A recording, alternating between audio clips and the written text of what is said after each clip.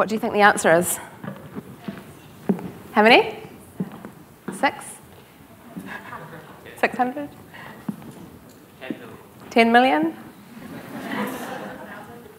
How many thousand? 1,000. 5,000. It's funny how we don't know the answer, eh, to stuff like this. 41,835, and in Ashburton alone there are 600. Which region has the highest rate of 20 to 24 year olds, so that group of people that you really hope are starting to get on with their lives and making decisions about what they want to do, that aren't doing anything in education, employment, or training? What region has the highest rate, do you think? That East Coast? Northland? Auckland? And what percentage do you think it would be for the, the region with the highest rate? Like we're talking 10%, 50%? 30%? 60%? So 28.3. So almost um, not quite a third of those in that age group in that region aren't really doing anything. And in Canterbury, the answer is about 10.3%. I was going to say this is the last one, but I'll probably ask you more just because I like it. So this is my favourite data point, and if you follow me on Twitter, don't, don't yell out the answer because it's really fascinating what some people first guess at. So there's currently about 4.6 million New Zealanders, and of course there are caveats with data collection and definition here, but bear with me, the magnitude is about right. How many do you think there have ever been? So the data set goes back to about 1855. If you were to add up all of the people that have ever kind of felt like they are New Zealanders, how many do you think there have ever been? 25 million. 25 million? Eight? Seven? Ten? It's funny when you ask teenagers this question, they say things like, ah, oh, probably like 300 billion. and it's, it's really, really fascinating, actually. And even some, some adults have said things like 200 million and just um, it's so fascinating that we just have no idea. So someone got it right, about 7 million. And I, I, personally guessed between kind of 20 and 30 million, so this was a surprise to me. And then as soon as you think about it, it's like, well, of course, because we only got to a million, what, like 1940s, 1950s or something, and most people were born since then are still alive. But the most extraordinary thing for this, from my perspective, is it means that two thirds of New Zealanders are alive today. And like that seems really important to remember and to reflect on in terms of when we think about how, how, responsible, how responsible we are for kind of shaping our future and the values of our country. It's still in our hands. So kia ora koutou, ko Lillian Grace ingoa. I run Figure NZ and we are working to create a data democracy and to get everyone able to use numbers in their thinking. So I'm going to give you a bit of a like a background about like the why and the, the bigger kind of kaupapa around why we exist and before getting into what we're doing and then where I see it going and how I think it can be useful.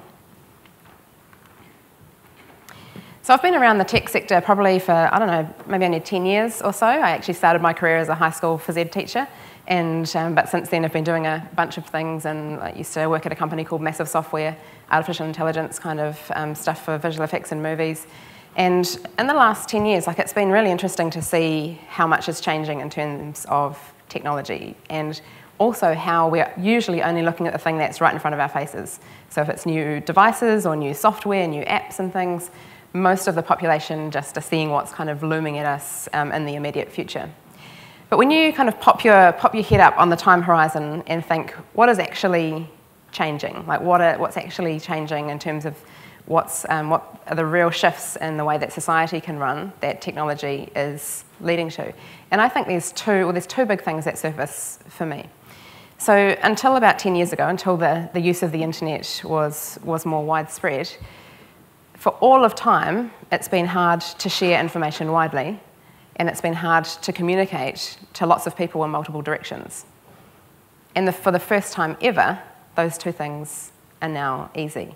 And when you think of most of the apps that we have, most of the devices and everything, that's basically what they're enabling. They're enabling us to share information widely, and they're enabling us to communicate to lots of people in multiple directions.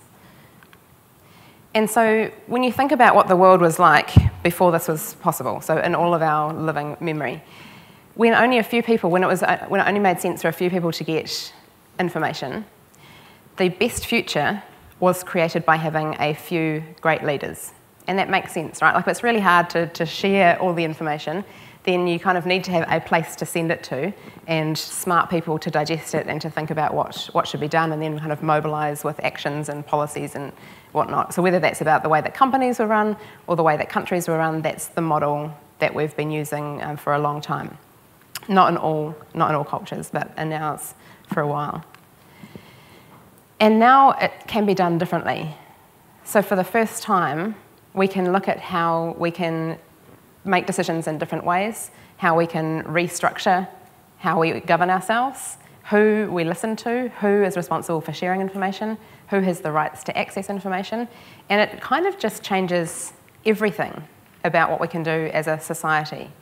But when you really think about it, we are only just at the very, very start of this. It's only been kind of 10 years that this has even been a possibility, and so much of the systems and things that we are still working with were created before this time was even dreamed of. And the reason I think it's important to remember that we're at the start of it is because so many people that have their hands on levers to change things are scared to change because it means admitting that they've been doing something wrong before. Whereas I consider it like we've just never been able to do this stuff before. We've never been able to share before. We've never been able to look at making decisions in a more kind of community basis um, in, in this kind of way. And, and so it's just exciting. But we need to, I think a big part of what we do with Figure NZ is try and, and create spaces where people actually feel safe through this transition rather than like they're going to be found out for having done it wrong until now. And so when I talk about data, and there's lots of different um, definitions of data and ways to think about it. So I consider, we think about kind of big data as what is enabling kind of automated decision making and, and telling you what, what bus to get on, etc. When it comes to Figure NZ, when I'm talking about data, I'm talking about the kind of numbers, like in the, in the earlier quiz questions, the numbers that help humans make decisions or help humans see the world around them. And often I use the word numbers or figures because if you go around the country and you start talking about data to people, most people say, oh, isn't that what you buy to top up your phone with? And it literally happened again last week. I was in the car with a friend and she had her three kids in the back between kind of 9 and 14 and she was trying to describe what I did. And when she said, oh, I'd like have a, do some stuff with data, and they're like, oh, cool, is that like the Wi-Fi?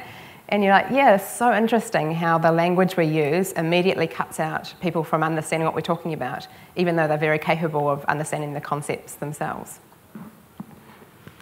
if you imagine what society was like when not everyone could read, so people, like society used to believe that not everyone was capable of reading, that there was just a small portion of the population that was involved in that knowledge sharing of information and it was quite contained and, and not everyone was able to participate. And we don't accept that model now, right? We, we say absolutely everyone can learn to read, and we completely achieve that standard. Everyone learns to read in our society. And if someone says, Oh, I'm not very good at reading, you say, You can learn. You don't say, Oh, that's, that's not for you. And we do that by, by we, you, you set the standard and say everyone can learn to read, and then you, you build the way that you teach it and the way that you serve the information up and the way that you take people on the process of reading until everyone can do it. But we haven't made that transition with the use of numbers in our thinking yet. We still say it's for experts and analysts and intermediaries to give us all the insights from numbers. And something like this kind of situation where there's an analyst up the front telling a group of people what the insights are from data is something that is quite typical in terms of um, what we get used to seeing. And if someone says, oh, I'm not very good at numbers, we say, oh, that's all right, it's just for the geeks in the corner. And we don't have yet that state where we believe everyone is capable of using numbers in their thinking. So Figure NZ, we're the first organisation globally to actually to assert everyone is capable of using numbers in their thinking and to try and achieve that standard. And it's really important because it doesn't mean that everyone is going to be able to be an analyst or to do complex mathematics, but everyone should be able to participate. So the numbers, you know, like of how many, how many Labradors there are, people, everyone is capable of understanding what that means. If I say to you how many mushroom farms there are in New Zealand, how many do you think there are? Not enough? Any idea of the number? 20. 20? Pretty close. 15. So everyone is capable of understanding what that means. And so there's two things with that. When we, when we learn to read and write, we don't expect that everyone's going to be able to read and write a PhD.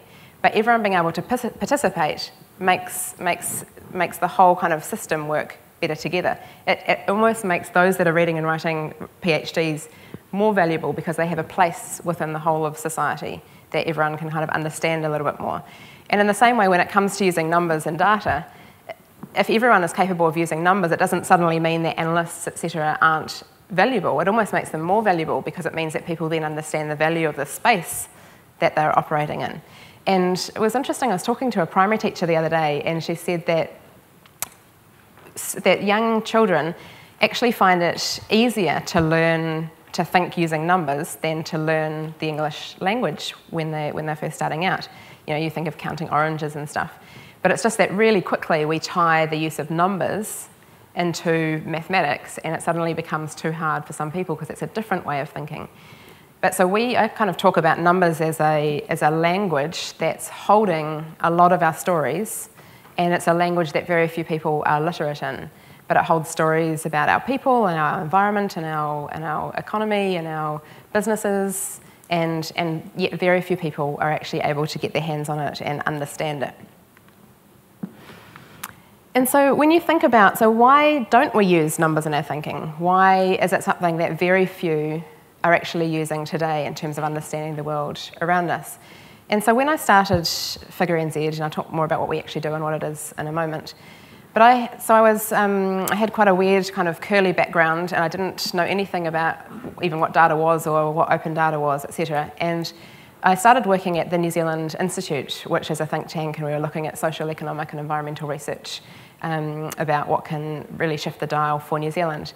And when I started there, I had no idea about how to be a researcher and analyst, and I had never used data in my thinking at all. And I remember opening up the StatsNZ database for the first time and the OECD database, and I was just like, what is this? There are just literally thousands of stories sitting in there that when you surface them, especially into like a simple, simple graph or something, you suddenly understand, you suddenly can see something. And I was kind of gobsmacked about how much was just sitting there, just like incredible resources that I had actually really never heard of or never used.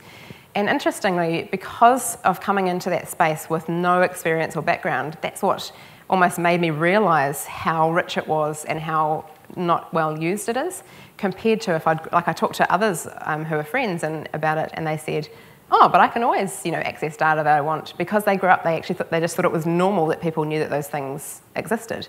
So none of my family probably still know that places like the OECD database or Statistics New Zealand, etc., exist.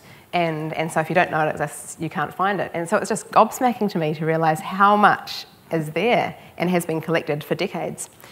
And so when, we were at, when, when I was at the New Zealand Institute, we would always start by looking at a topic and understanding the metrics around it. So say we were looking at internationalising um, tech companies or youth disadvantage, we would always say, what are the numbers? What are the metrics? How do we get our first kind of series of questions? And we would look at, so what should the metrics be that we look at? How is New Zealand currently performing? How has that changed over time? how does that compare to other countries? And then we'd say, what countries used to perform poorly that now perform well? And then we would go and look at the literature and, or just the activity that had been occurring and say, is that something that's happening in that country that could be relevant to New Zealand? Is that some kind of stuff that, that could help us move where we are? And so we'd always start framing up using numbers, which was really new to me. And then we would go out when we had some kind of ideas, we would go out and share a lot of these really simple graphs, simple like line charts, column charts, things that didn't move. And we'd go to lots of different communities and, and take them through our thinking. And it was amazing seeing the reactions that people had to seeing some of these numbers for the first time. And time and time again, it was just surprise was the first reaction. People had just literally never seen some of these stories. And, and I still remember there was, I was up in Whangarei and I was talking to a group of people who work directly with youth. And I put up a chart that shows that New Zealand has the highest rate of reported youth suicide out of all advanced economies. And they were just floored. And one of the women there said, That graph is literally going to make me work harder at my job because I had no idea that was the situation that we were dealing with. And when, like, having lots of those kind of experiences, I was like, this is so interesting because it's not that, like, I used to think people were complacent about getting to know Aotearoa and caring about its future and wanting to be involved. And I've been 100% proven wrong in the last six or so years. I haven't met any person that doesn't care about our future and that doesn't wish that they could be a bit more effective in terms of helping it. But hardly anyone has any idea about how to be effective and where to be effective. And so this led me to thinking so if there's lots of data there that's really great resources that people have been spending a lot of time and effort on for decades, and there's people that actually want to use numbers in their thinking, where's the gap? Like, what's, what's going on? And just saw that there's such a difference between when something is technically available and when something is actually truly usable from a real user centered kind of approach. And so I started kind of um, like backing into understand a bit more about the data space because I started knowing literally nothing at all. And, and so kind of got to know a few government agencies and went and sat next to people and that were, you know, someone that owns like the cancer data set in New Zealand, uh, etc. And it's just like, why is everything so fragmented? Because we have literally tens of thousands of data sets spread over literally hundreds of websites and all of them are in different formats and adhere to different standards. And um, so once I kind of really thought about, about this, because I also realised that most of the people that are working with the data care heaps about it. And they really want people to know about it because it's literally the area that they care about most often, because it, and it's the area that they're working in. And then, then you think about the history. So you think about one of the earliest slides about, you know, 10 years ago, we weren't able to share information widely. And you think about what that means for our data sets. And most of New Zealand's data was, or not most, a lot of New Zealand's data has been collected as a byproduct of a service. So if you're a government agency, you're providing a service, whether you're um, um, distributing benefits, whether you're a local council and you're registering dogs and you're just counting how many you're doing and saying what, what breed they are, and so a lot of our data sets were established before the internet existed. And so they were also set up before anyone imagined ever having to share them. And so there was, of course, no, no drive to get together and say, so what standards should we be using or how should we be doing this? It was literally just not thought about.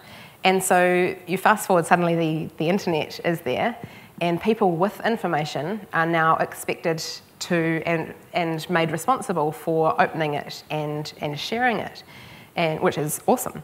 Um, but it's also terrifying for those that have been collecting the data sets because they didn't set them up to be shared. And so it's almost like if you had been doing all your books offline in like a messy little spreadsheet on your computer and you're suddenly asked to publish that or send it directly through to someone and it kind of freaks you out because you're like, oh, yeah, no, I wasn't thinking we were going to have to do that. And so it was really interesting understanding that, that whole landscape and the motivations and, and the amount of fear that is around making some of our data available.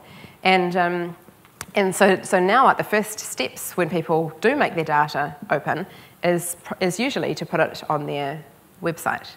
And so that's all good, well motivated steps to make. But when you think of it from a user's perspective, what we have is our, as New Zealand's data is organised by source. You have to know who collected something, you have to know the name of the data set before you can find the content. And when you, when you understand the history of it, it makes perfect sense. But when you imagine it from the perspective of a user, it's as silly as having a dictionary that's ordered by the country of origin of the words within it, where you open it up and you're like, too hard, I'm not even going to bother. And so, but it's really interesting, I think, and valuable to understand the motivations of it's not because everyone just wants to keep people away from it, it's just that we've been evolving, we've never been able to do this before. And when you think about that, when you think about the fact that, you know, even within one government agency, there might be four different definitions for family because people have been collecting data and, and establishing these definitions separately. When you think about everyone collecting data and having them on their websites, there are some other interesting kind of statements that can be made. So, for example, New Zealand's data isn't archived. It's not, right? Because we don't even know what we've got. we can't even, like, we don't even find it. We don't know where the gaps are. We don't know where the duplicated effort is. So we don't have our arms around what we even have, let alone able to then archive it and make sure it's always protected in the future. And, and it makes sense, but when you say statements like that, it's like, oh, probably should be. And um, so when people try and use data now, this is, this is what they usually look like, right? You, someone, like we get asked all the time for help finding data, and, and it's like people know what they want and they just literally have no idea how to get it, and it's just simply too hard. Just going to get some water while you read these questions.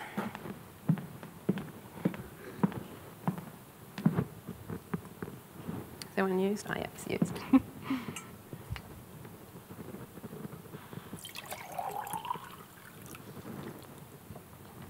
That first one is interesting, eh? So, in the 1950s, New Zealand had about 129,000 hectares of sand dunes. What do you think the number is now?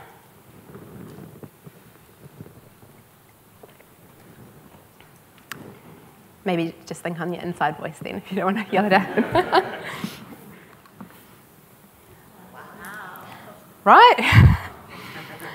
so, so many of our stories uh, held within these data sets. And when you, when you use the word stories or when you use numbers in this form, it's relevant for most people compared to if you show someone an Excel spreadsheet.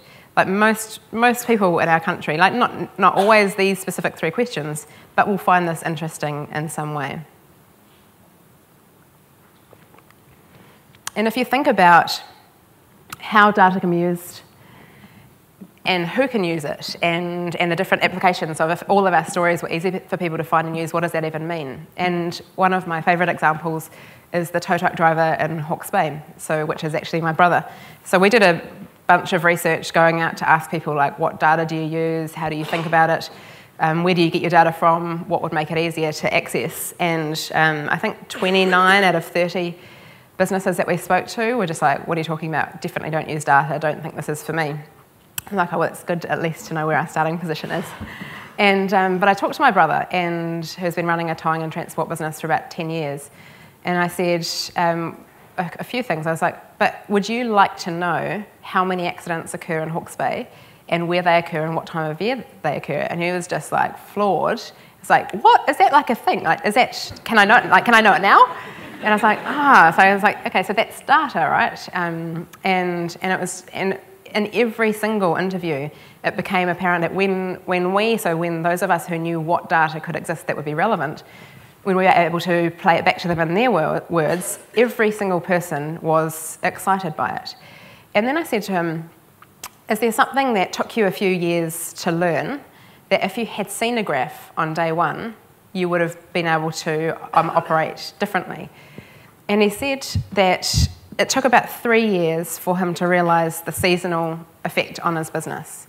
And you think about it, you start up a business and you know you come out of the gate and a few months later your business starts going up, you're getting getting more more work and you're thinking, awesome, growing my business, hire more people, get some more trucks or whatever. And then a few months later it starts going down and you're like, oh heck. And so you're kind of scrambling and you do that a few times and next minute you realise, ah, oh, this happens every March. Okay, this is a seasonal thing.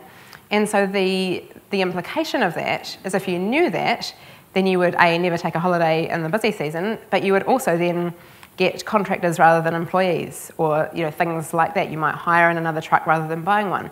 And just simple decisions that would make a massive impact on, on things like small businesses. And lots of other examples.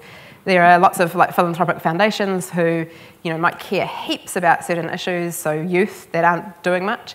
And if you don't know what region that's occurring in, and you know, are there 50 of them or are there 5,000 of them, you, you can't really target what activity you're doing.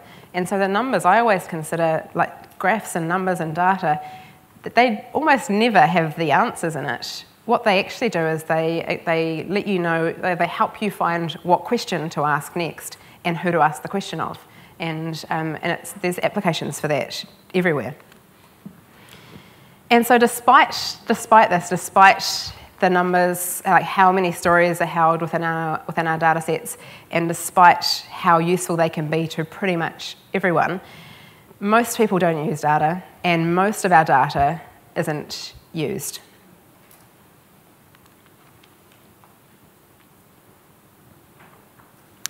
So, Figure NZ, our mission is to help everyone make sense of data so that they can see New Zealand clearly in a way that inspires them forward and encourages them to do something about it. And so we're a, a charity, and the reason we're a charity is because if you think of something like Wikipedia, it just wouldn't work, in my view, if it was a commercial entity or if it was a government entity. It has to be a place that people that have content feel safe with how it's going to be treated, and a place where people that use it trust the motives of what people are doing. So that our kaupapa is front and central for us every single day of is this going to help people use numbers in their thinking so that they can understand the world around them better. And, um, and it's interesting because. I mean, when I say that we're the first organisation in the world to do this, like definitely there are many awesome things happening with data around the globe and lots of cool stuff in New Zealand. But the difference is the assertion that everyone can use numbers. And when you're thinking, when you're building a system that, when you're constantly saying, how would a seven year old find this? How would a seven year old interpret this? How would my mum use this? That's really different from starting with, you know, what, how do we get data out for experts so that they can do modelling and, and, and analysis and stuff, which is also really important, but just fundamentally different, um, different way of thinking. And we, so we, we have two main functions. It was interesting, it was earlier this year that I realised I spend most of my time talking about what we, where we want to go, and I don't always talk about the actual what we actually do. So we, we do two main things. So we, we take New Zealand's kind of disparate data and we standardise it and turn it into machine readable form, and then we make it easy and compelling for people to find the news. And so this is kind of what the, how the system works. So probably many of you know, most of our data sets are held in things like Excel spreadsheets, in PDFs, in CSV files. Our Excel spreadsheets might have meaning attributed to merged cells or to bold, etc. There might be a really important note down in cell A362 that says, by the way, all these values are per 100,000. And, and so they're all different. And so we've built a platform that allows us to extract all of these, all of this data, all of these values, and to standardise it. And by standardise, I mean it could be as simple as one data set says March quarter 2010 and another has Q1 2010, and we we kind of along, uh, align that and strong type it so that the system understands that it's the same thing. So when you're a user, you don't have to keep reinterpreting that. And when we extract it, we also, uh, we're building a, like a whole set of relationships between the data itself. So, for example, Waipukurau is a small town in Central Hawke's Bay, which is in Hawke's Bay, which is in the North Island, which is in New Zealand. And typically, when you look at a data set, say in an Excel spreadsheet or in like a bespoke kind of database, there's no real relationship or understanding in the system of where that where a point for Waipukurau sits within the other geographical kind of areas. And so we're building those, those models up so that from a user perspective, if you search for data and you say Waipukurau and there's none there, then it will show you Central Hawke's Bay or it will then show you kind of, you can go up and down through that.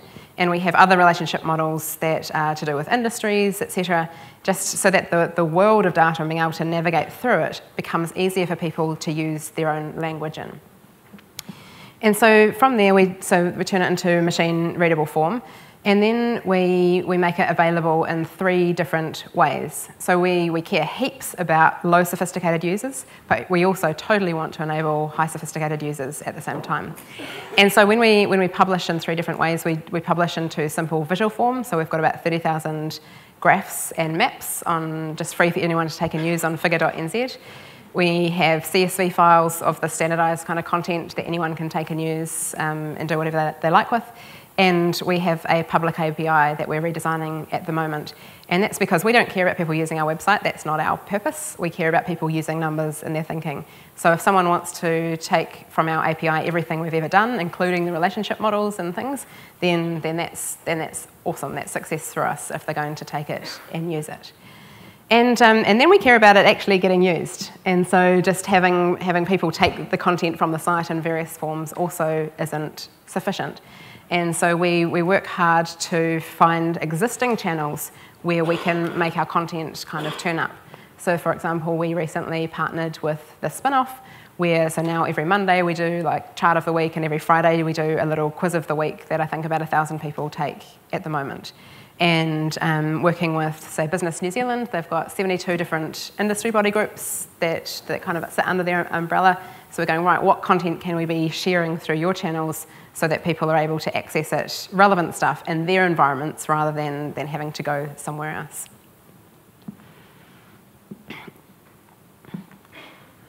And in terms of how, how we make money, um, because everything is free for everyone to use, we believe that charging for, like, that data shouldn't be the currency, it's what comes next, that's the added value. And so instead, we, we charge those that have data to make their data usable. So, for example, we have customers like uh, the Treasury or Department of Internal Affairs or um, Department of Prime Minister, Prime Minister and Cabinet, um, recently the Defence Force, and so they, they pay us to take their, their data sets as they currently are without having to do anything and to turn them into usable form.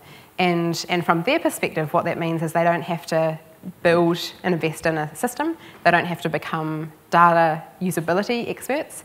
And they also don't have to, they also know that their data is more likely to be in front of more people because most people don't know to go to their website.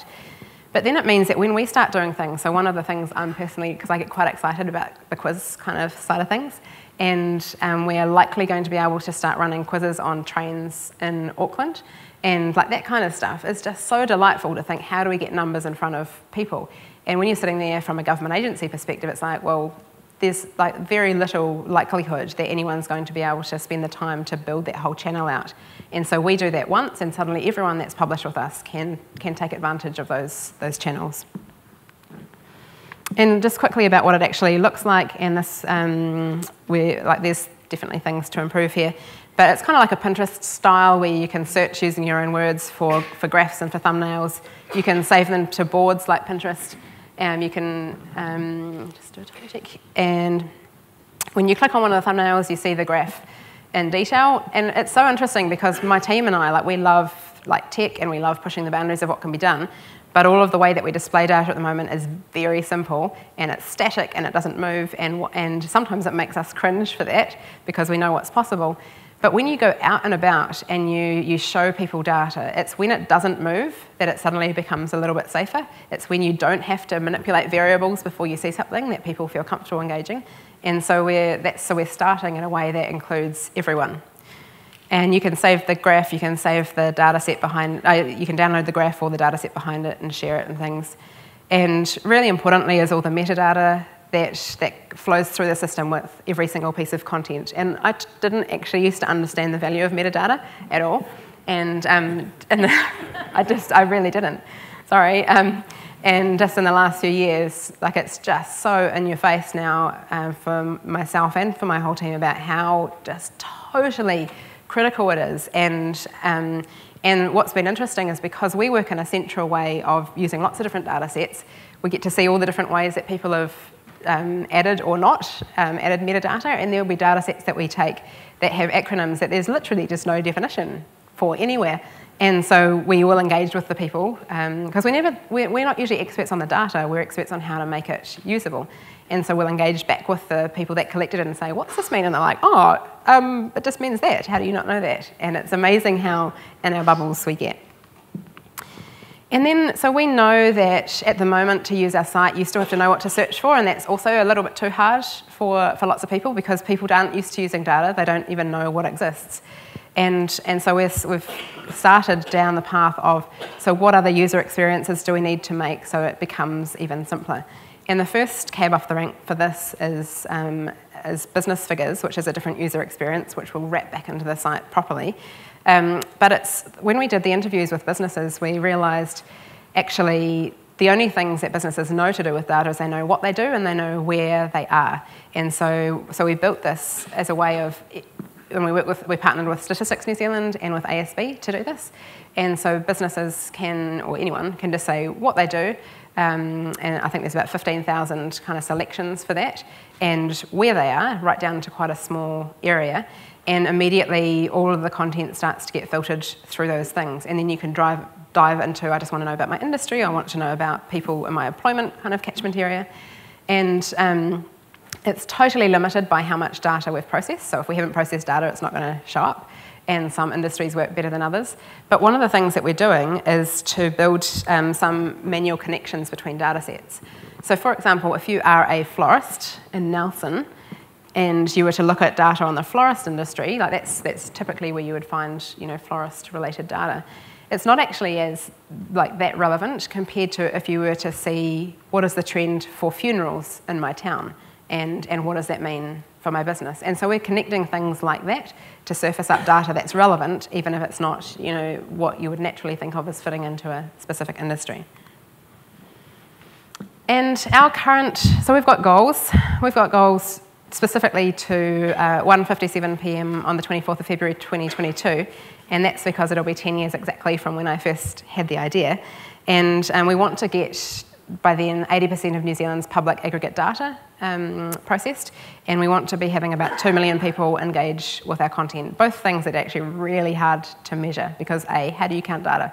But we're kind of working on those things.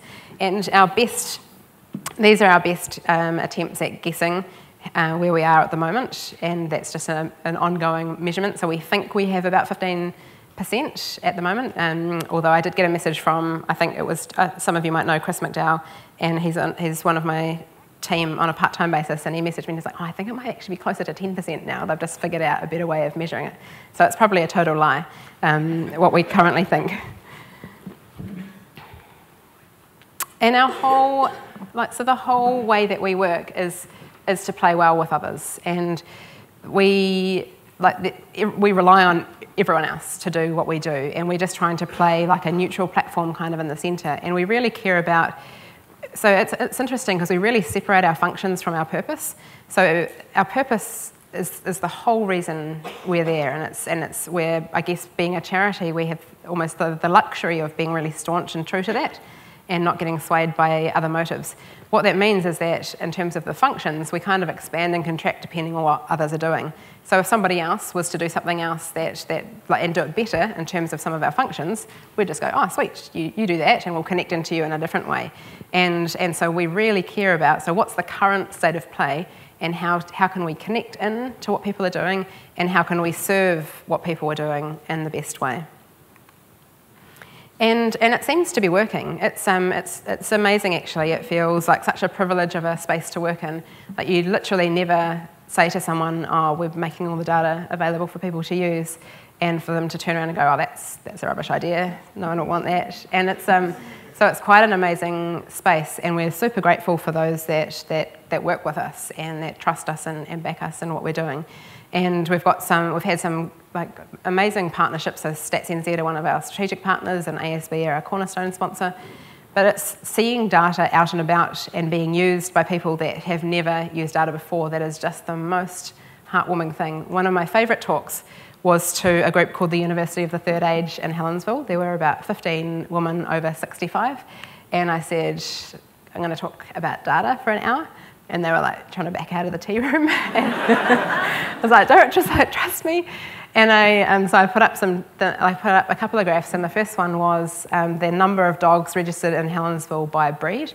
And they were sitting there, like, one woman was like, um, is my border collie like in that line?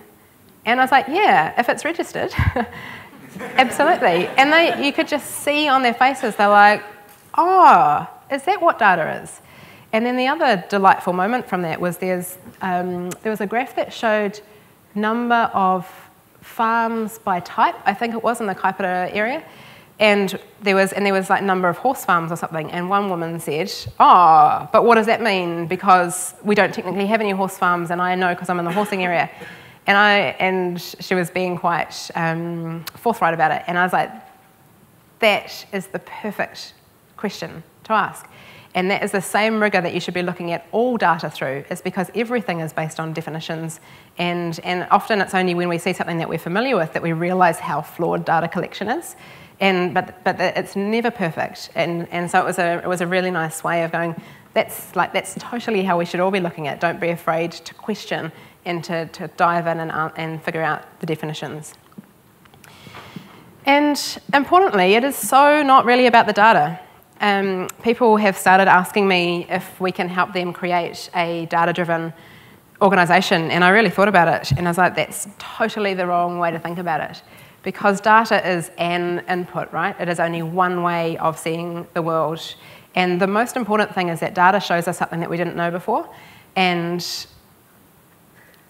we work in cultures or we operate in environments where we aren't encouraged to identify the things that we don't know, typically. We're encouraged to promote the things that we do know. So, far more important than going, oh, how do we lurch and create a data driven organization? I think people are under the illusion that you can connect some pipes and that magic insights will turn up. And, and it's like, actually, the more important thing is how can you create a culture that encourages people to identify what they don't know and to seek the answers using data as an input. And that's what we're, what we're really about. Thank you.